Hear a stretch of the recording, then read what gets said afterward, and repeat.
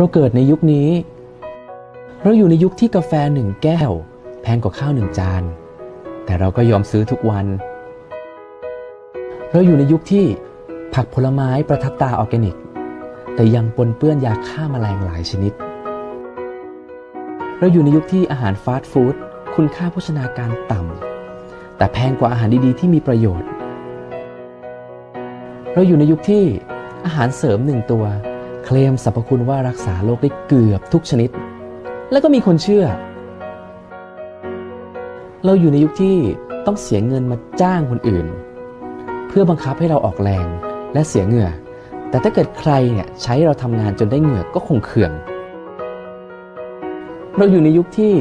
ต้องเสียเงินเข้าคอร์สลดความอ้วนที่เกิดจากตัวเราเองเป็นคนทำเราอยู่ในยุคที่สัญญาณ Wi-Fi เป็นปัจจัยในการดำรงชีวิตที่สำคัญ เทียบเท่ากับออกซิเจนที่เราหายใจ เราอยู่ในยุคที่เราต้องมองหน้าจอมือถือ มากกว่ามองหน้ากันในแต่ละวัน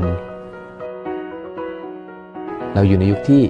ใครจะด่ากันก็ได้บนโลกออนไลน์ แม้จะไม่เคยรู้จักกันมาก่อนเลยก็ตาม เราอยู่ในยุคที่ ใครๆ ก็สามารถสถาปนาตนขึ้นมาเป็นเน็ตไอดอลได้ง่าย ๆ เพียงแค่มีกล้องดีๆ บวกกับความใจถึง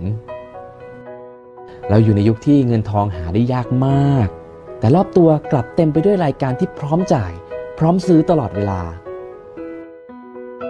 เราอยู่ในยุคที่ต้องใช้สติปัญญาให้มากขึ้นในการดำรงชีวิตแต่ละวัน เพราะชีวิตต้องสตรองเท่านั้นจึงจะอยู่รอด เราอยู่ในยุคที่ต้องแชร์เก็บไว้ในหน้าวอล Facebook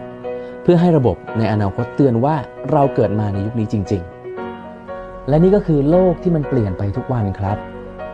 ร่วมแชร์เรื่องราวดีๆ แบบนี้ได้ให้คนที่คุณรัก และติดตามสาระดี